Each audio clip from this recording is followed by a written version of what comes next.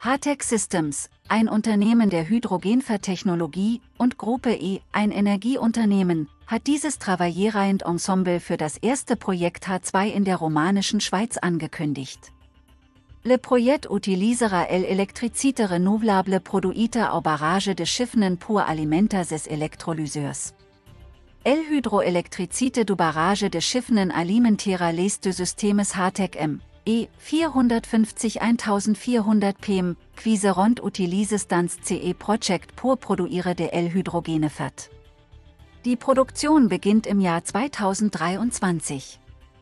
Zu einem bestimmten Zeitpunkt werden 300 Tonnen H2 Erneuerungsmenge produziert. Der saubere Kraftstoff wird hauptsächlich für die Dekarbonisierung des Güterverkehrs verwendet. Mit dem Projekt wird erstmals eine H2-Produktionsstätte in der Westschweiz eröffnet. Die Produktionsstätte Schiffenendamm befindet sich im Kanton Freiburg. Die beiden PEM-Wasserstoffelektrolyseure, die für die H2-Produktion verwendet werden, werden von der Rotationsturbine des Damms mit über 2 Megawatt sauberer Energie versorgt. Der Standort der Produktionsstätte liegt in der Nähe der Autobahnen A 12 und A1 und eignet sich perfekt für die Lieferung des sauberen Kraftstoffs an nahegelegene Tankstellen. Das H2 wird auf der Straße mit Tankwagen zu diesen Stationen transportiert. Die grüne Wasserstoffpartnerschaft ist das Ergebnis eines Pilotprojekts der Gruppe E, das die PEM-Elektrolyseure benötigte. Die beiden Unternehmen haben sich für das Projekt zusammengeschlossen, weil die PEM-Elektrolyseure von H-Tech Systems den Anforderungen der Gruppe E an die Produktion von erneuerbarem H2 entsprachen. Mit diesem Projekt betreten wir Neuland.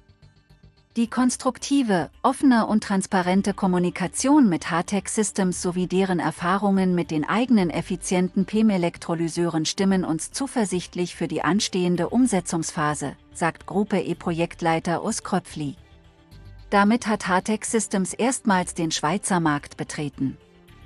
Das Unternehmen begrüßte die Gelegenheit, bei diesem Projekt mit Gruppe E zusammenzuarbeiten und erklärte, dass es sich auf die Gelegenheit freue, mit dem Energieunternehmen an diesem grünen Wasserstoffprojekt zusammenzuarbeiten.